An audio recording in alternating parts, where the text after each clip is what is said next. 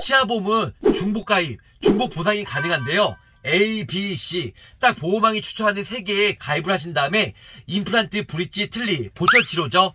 400만원, wow. 한 개당 400만원 보장받을 수 있는 꿀팁, 그리고 보존 치료. 보존 치료 하면 대표적으로 크라운, 인레이, 온레인데요. 한 개당 110만원씩 보상을 받을 수 있는 꿀팁에 대해서 설명을 드리도록 할게요. 치아보험은 보호망.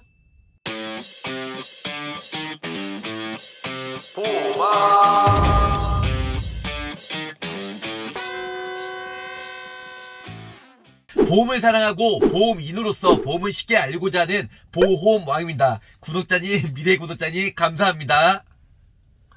저 보험왕은 정말 희소식, 꿀팁, 좋은 정보를 올려드리면 이렇게 기분이 좋고요. 텐션이 업그레이드가 되는 것 같습니다.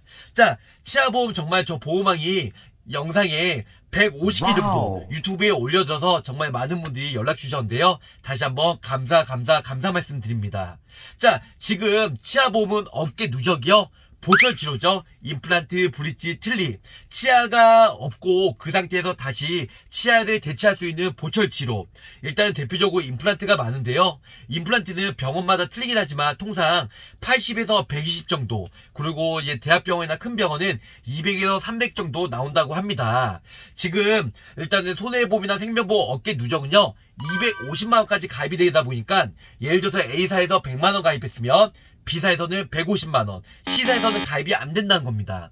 하지만 저 보험왕이 세 개를 중복적으로 가입을 해서 A사, B사, C사 그래서 보철 치료가 무려 400만원 wow. 얼마요? 400만원 가입할 수 있는 꿀팁을 알고 있고요.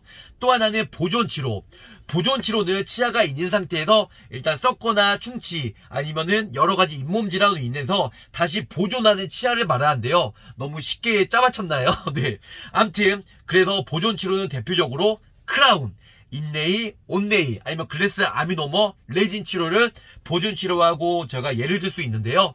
이런 부분들은 한 개당 몇 개요? 한 개당 110만원 보험금 받을 수 있는 상품 구조에 대해서 A사, B사, C사로 가입하시면 중복 가입도 되고 중복 보장도 되고 정말 나중에 병원에 가면 크라운은 보통 40에서 50 정도 병원비가 나온다고 합니다. 근데 저 보험왕이 거의 110만원 정도 나오는 꿀팁에 대해서 설명을 드릴게요. 자, 보존 치료는 거의 모든 보험사가요. 1년 전에는 50%만 보장이 되고요. 1년이 넘어가면 100% 보장이 되는 구조로 되어 있습니다. 물론 90일 면책 기한은 다 동일하고요. 자, 보철 치료 역시 2년 지나면 100% 보장이 되고 2년 전에는 50% 보장이 되는데요.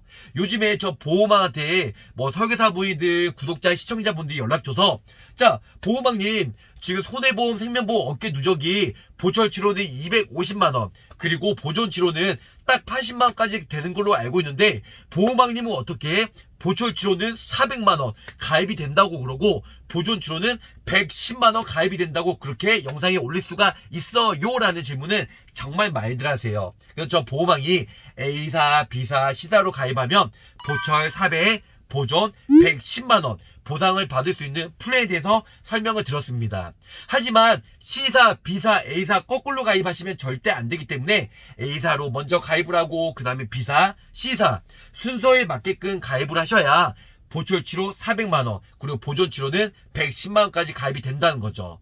물론 어, 보험이란 건 제가 나중에 병원에 갔을 때 일단 병원비를 막고자 그냥 적당히 가입을 하시고 나중에 병원비 마이너스만 안 되면 되는 것처럼 뭐 하나나 두 개 가입하셔도 상관이 없으세요. 그런데 또 어떤 분들은 아 내가 2년 후에 계획 있게 일단은 보험을 가입하고 나중에 청구해야지 그런 분들도 있으시거든요. 일단 그런 분들은 병원비가 100만 원이나 150만 원 나왔다. 그러신 분들은 아무래도 우리 A사, B사, C사로 중복 가입해서 나중에 중복 보장도 가능하시고 400만 원까지 보철 치료가 보장이 가능하다 보니까 임플란트 했을 때 병원비가 100만 원 나왔다. 그럼 300만 원을 본인이 나중에 쓰시면 된다는 거죠. 여윳돈으로요. 물론 2년 동안 납입을 꾸준히 하셔야 되기 때문에 아무래도 보험료도 만만치가 않으실 겁니다. 하지만 저는 이렇게 생각이 들어요. 일단은 아 치아보험 요즘에 정말로 가입하고 보험금 받기 어, 힘, 힘들지 않아요? 이렇게 해서 얘기한 분들이 있는데요. 우리가 고지사항이죠. 3개. 첫 번째로는 우리가 틀리한 적 있냐? 두 번째로는 1년 이내에 충치나 치아 우시증, K02 코드죠. 이걸로 인해서 일단은 보존 치료나 보철 치료 한 적 있냐? 세 번째는 잇몸병이나 풍치로 인해서 발치를 하나 이상 하였거나 아니면 치주 수술, 잇몸 수술을 한 적이 있냐? 요 부분만 깔끔하게 저희가 고지를 준수하다 보면 나중에 보험금 청구할 때 전혀 문제 없이 보험금이 잘 지급이 된다는 거죠.